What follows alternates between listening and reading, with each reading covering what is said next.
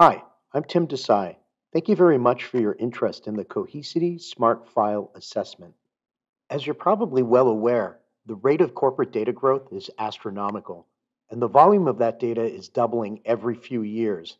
Furthermore, as much as 90% of that data is unstructured, and most of it tends to be inactive or cold. It's really hard to know what data you have, how and when it's being used, and how much capacity is being consumed by unused data. If you're not keeping track of these things, it's more than likely that your NAS capacity utilization is less than ideal. To optimize your environment to get the most out of your NAS investments, you're going to need insights about your file data. And that's what the Cohesity Smart File Assessment is all about. The Smart File Assessment is based on our Smart Files product, which is our data service for managing unstructured data, including files and objects. Using a feature in Smart Files called Data Insights, we can securely scan your NAS metadata without reading the file contents, so security risks are avoided. The assessment easily and quickly discovers information about file types, file sizes, data access trends, and capacity usage across your NAS devices. With these insights in hand, you have the information you need to intelligently optimize your environment.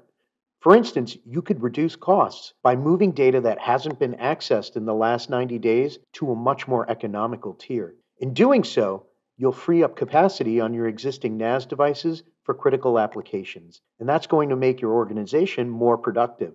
Getting started with the Smart File Assessment is easy. We'll scope the assessment with you and then set up and run the assessment for you. I'm going to hand off to Vic now so he can demonstrate the Smart File Assessment and show you the kind of actionable data it will produce. Okay, thanks, Tim, and great overview. Well, hello, everybody, and thanks again for tuning in. As Tim mentioned, my name is Vic Camacho, Principal Technologist here at Cohesity. I'm going to go ahead and switch over to my web browser so we can jump right into the demo. Okay, so as Tim mentioned, Data Insights is part of Smart Files. And so to get there, we're simply going to move over to the left, click on the Smart Files drop down menu, and then select Data Insights. Now, Data Insights is really a two part process. The first is the data analysis of the data that sits on a third party NAS system. And the second is driving the data tiering decisions based on that analysis. Now, the purpose of the feature is to enable the migration of cold data from third party sources like your NetApp and your Isilon or any other generic NAS devices you may have. And then again, just as a reminder, using Data Insights, we scan your, your NAS metadata. We don't read the contents of your files internally. So it's a very secure process. Now, the first step is just to simply add a source. We click the Add button, register a new source. You can choose either NFS or SMB. Uh, you decide what you want that to be. Uh, you mount the path. You can give it a description and then register the source. Now, I already have a few below as an example, so we're going to go ahead and click cancel here. Once the new source has been registered, the next step is to analyze the source. The amount of time it takes for the analysis to complete will depend on how much data or files you have on the source. Now, once you've done the analysis, and I'll just go ahead and click Analyze here. This Now, this is a very small share, so it's going to complete uh, pretty quickly. But once it does, what you're then left with is this Plan Tiering button. Now, based on the analysis, you can start to plan your data tiering jobs and select some of that criteria. And so from here, you would just click Plan Tiering. Now, based on your selection criteria, we'll change the selection, selection summary just below. In this example, we have both warm and cold data selected to tier off from the third-party NAS system and onto Cohesity. Now, you, in your organization, you may choose to do only cold. Again, it's giving you the option to do what you want to do for your organization. Now, you also have the ability to uh, select some other selection criteria here on the kind of data that you want to migrate over. Uh, and so here you can choose very small files, small files, medium. So you get to decide what you want to tier off off of your third party NAS device and onto Cohesity to save some of that much needed space on your third party NAS system. Now, just below here, uh, you can group uh, in the graph, you can group by things like file sizes. So here's giving you, uh, in at least in the hot data category, how much small files and how many small files here are here. But if you have large, medium, and and very large files, those will also be shown here. So you can do some modeling here before you decide what you'd like to tier off. Now, based on your selection summary here or your selection criteria, uh, this is telling us that we have scanned 90 gigs and we can ha- actually tier off 81 gigs based off of our selection criteria and tier that off to cohesity, which would be pretty significant. Now, in larger environments, this could run into the terabytes. So once we're here and you're uh, you have decided what you want as your selection criteria, simply click continue, and then we would give this a task name. We're just going to call this test. We're not going to run all the way through with it because we already have uh, this as a uh, as a data tiering job that runs on a nightly basis. now, this middle section is just a summary from your previous screen. So you can't edit this here. You would have to go back and edit your selection criteria. So again, this is just a uh, a summary of what you are going to tier off. Uh, now here is just about uh, selecting your default storage domain. You can add another storage domain if you have one of those. You would give this a name. Uh, I'm just going to call this Vic Test as an example.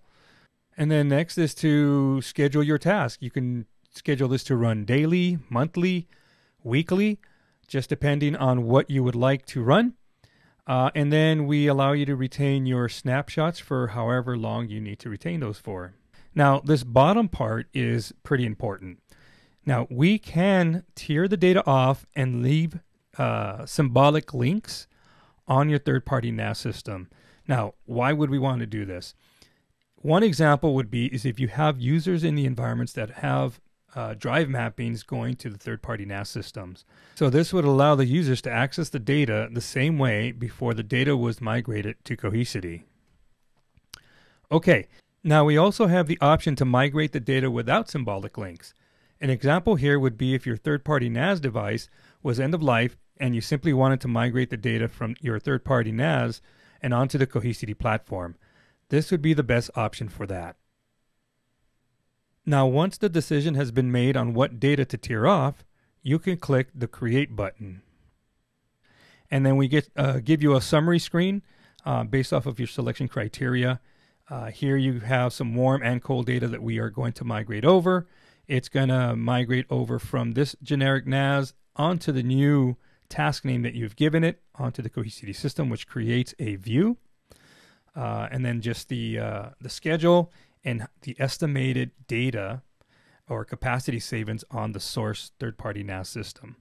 Now, from here, you just click submit. Now, we're already running this, so we don't want to do this again. I'm going to go ahead and click cancel uh, and then click cancel here just to get back to our screen.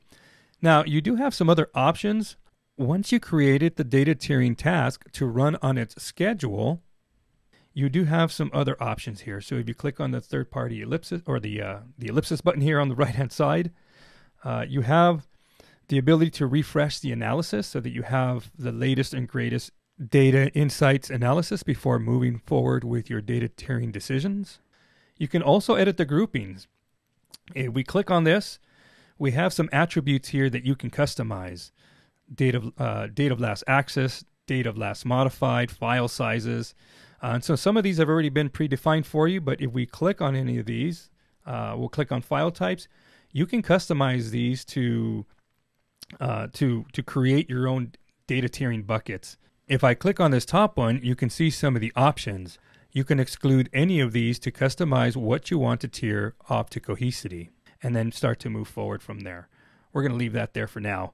Uh, but once you've uh, done this, you would just then click Analyze again to if there were any changes so that you can get your new uh, data insights into the data that you can tier off. You also have the option to edit the schedule to run at another preferred time if you like. And then the final option here is to delete the analysis. If you delete the analysis, you would then have to reanalyze the third party NAS source in order to get the latest and greatest information for your hot, cold, and warm data again. As you can see, this is a simple and straightforward process. Now that you have done the analysis and created the data tiering schedule, your capacity trends graph will start to populate.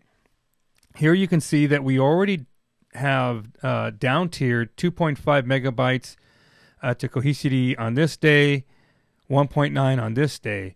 If I go back to the past 30 days uh, and we wait for the graph to populate, you're going to see when we first started to run an analysis on our data source. And on this day, you can see that initially we down tiered 15 gigs. And as we move down the graph, you can see that every day after that, we started to down tier more data. Now, this is a smaller demo environment, so in larger production environments, this could certainly be a much larger amount of data that is being down tiered from the more costly third party NAS system and onto Cohesity. So, based on your selection criteria, every day it's going to go out and look for more warm and cold data as used in this example and down tier that off to Cohesity. So, in closing, the three steps are add a source that is your third party NAS system. Second is to analyze and provide data insights on that source. And then the final step is to decide what data to tier off based on the analysis. And that's it. I'll go ahead and turn this back over to Tim to close us out. Take it away, Tim. Thanks, Vic. If you're interested in getting started with the Smart File Assessment, it's easy. Simply contact your local Cohesity representative. Phone numbers for your local team are available on the Cohesity website's contact page. The URL for that page is shown here. You can also find much more information about Smart Files on the Cohesity website.